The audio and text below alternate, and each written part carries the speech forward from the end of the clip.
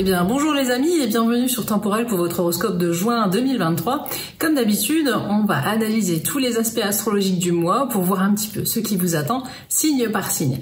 Avant de se lancer dans le vif du sujet, eh bien évidemment, vous savez ce que je vais vous demander, de penser à vous abonner et à activer la petite cloche de notification. Si vous pouvez me laisser un petit like, évidemment au passage, ça me fera super plaisir.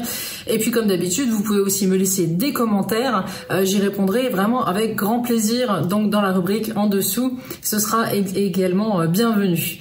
Alors, pour ce mois-ci, on a pas mal de choses qui se passent. Euh, on a vu les mois précédents avec les influences de Pluton hein, qui était entré en verso, etc. Euh, qu'il y a eu pas mal de changements. Je pense que vous avez dû le ressentir. Euh, on, a, on, a, abordé le sujet en profondeur dans les horoscopes des mois précédents et puis je vous avais fait une, vidéo d'ailleurs spéciale euh, Pluton, euh, ce passage en verso qui était super important. Et eh bien ce mois-ci, Pluton va quitter le verso et revenir en Capricorne. Donc on va voir un petit peu signe par signe ce que ça va donner pour chaque chacun d'entre vous. Bien évidemment, les Verseaux et les Capricornes seront en première ligne. Mais on a d'autres changements importants ce mois-ci. Qu'est-ce qu'on a? On a Mars qui est entré fin mai, le 21, euh, très exactement, le 21 mai, dans le signe du lion. Alors ça, bien évidemment, c'est une bonne nouvelle pour les lions, ascendant lion ou ceux euh, qui ont un signe lunaire en lion. Hein. Justement, à ce propos, pensez à consulter la vidéo qui concerne votre signe ascendant si vous le connaissez, et également votre signe lunaire, parce que ça va venir nuancer euh, tous les propos que vous allez retrouver ici par rapport à votre signe solaire.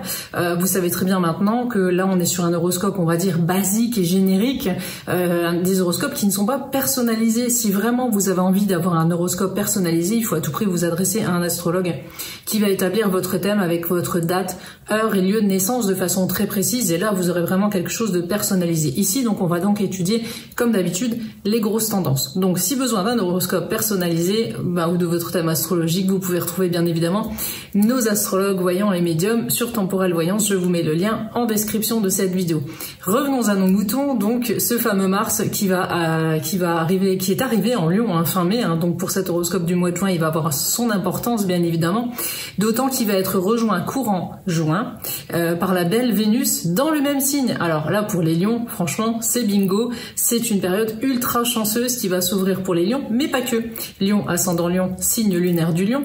Euh, mais aussi les autres signes de feu, bélier, sagittaire, et également euh, par le jeu des trigones, les signes d'air, hein, gémeaux, balance, verso. Donc là, c'est tout bénéf pour vous. On va voir comment ça va se, ça va se présenter tout ça, est-ce que ça va vous apporter. Mais c'est un mois de juin qui va être plutôt positif, on va le voir. Donc, euh, on va regarder ça signe par signe, et j'espère en tout cas que l'étude de ces aspects astrologiques va pouvoir vous aider et vous guider pendant tout ce mois de juin qui vraiment s'annonce radieux. Alors, amis Capricorne, qu'est-ce qui vous attend pour ce mois de juin 2023 Eh bien, en ligne de mire, on a déjà Pluton qui va revenir vers vous. Hein. Alors, pas tout de suite. Hein. Euh, en début de mois, vous serez encore un petit peu tranquille. Il gérera encore votre maison solaire 2, qui est la maison de vos finances. Hein. Il vous aidera à euh, finaliser certaines choses au niveau budgétaire et ensuite, il va revenir vers vous. Alors, qu'est-ce que ça va faire? Ça va vous permettre finalement de reprendre peut-être certaines choses que vous aviez laissées en cours en début d'année ou en fin d'année dernière euh, parce que vous n'aviez pas euh, les éléments nécessaires en main. Donc il y a des choses qui vont pouvoir enfin se concrétiser et se terminer, ou en tout cas, euh, ça se terminera d'ici l'année 2024. Donc ça vous laisse encore plusieurs mois pour finaliser tout ça. Hein. ça peut être ça peut être la vente d'une maison, ça peut être un changement professionnel, ça peut être une mise à la retraite pour certains Capricornes. Voilà, il y, a, des choses comme ça qui, euh, qui vont demander encore plusieurs mois de travail et d'attention, mais cette fois-ci, vous aurez toutes les cartes en main et toutes les infos, donc les choses vous sembleront plus faciles. Alors, ce qui va se passer également, c'est que Vénus euh, et Mars vont venir rejoindre votre maison solaire 8. C'est la maison également de, vos finances, de vos acquis, etc. D'où peut-être le fait justement de penser immobilier, revente, achat, euh, euh, succession, des choses à régler, des choses comme ça, qui peuvent intervenir sur les prochains mois. Euh, mais il y aura aussi pas mal de coups de chance, hein, des dossiers financiers qui aboutissent, donc des affaires juridiques qui aboutissent enfin également, qui vont peut-être vous donner un, coup, un goût de, légèreté. Il peut être question pour certains versos de l'augmentation de leurs revenus ou de ceux de leurs conjoints. Euh, voilà, tout paraîtra finalement plus facile euh, grâce à ce transit de Vénus-Mars dans votre maison 8. Et puis aussi le fait que Pluton va ensuite quitter votre maison solaire 2 pour revenir vers votre signe.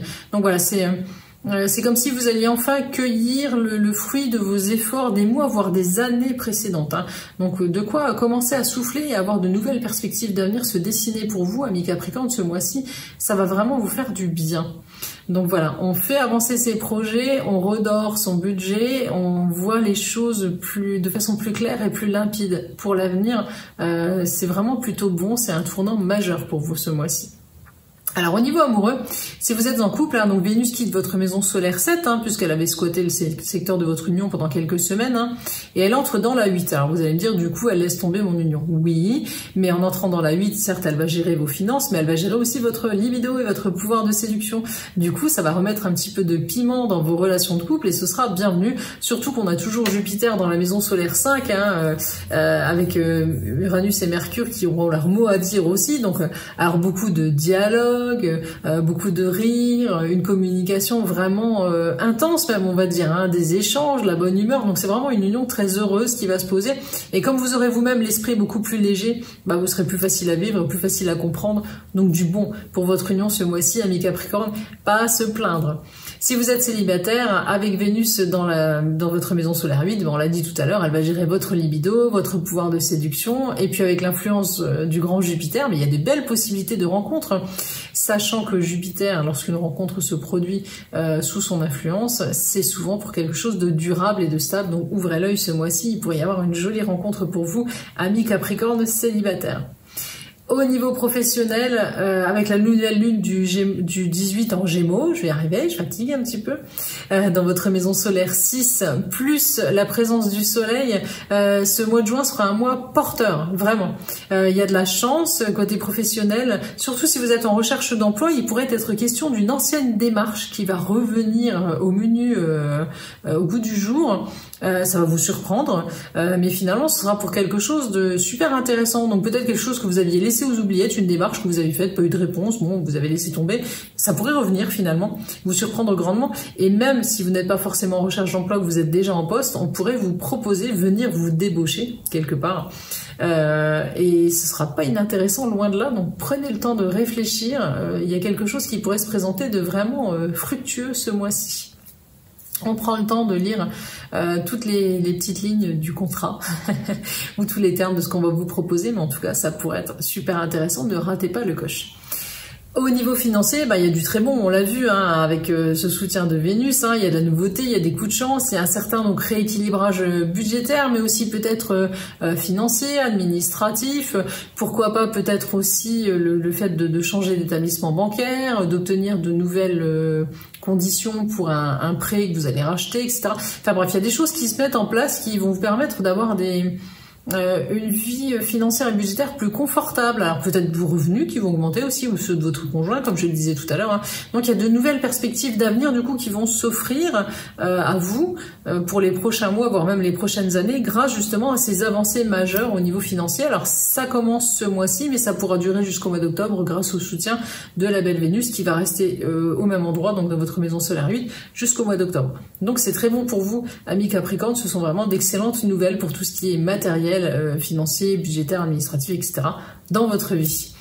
Au niveau vitalité, il peut y avoir un petit coup de fatigue en début de mois avec la nouvelle lune euh, du, 4 juin en Sagittaire, hein, qui est votre le signe qui précède le vôtre, donc dans votre maison solaire 12. Hein.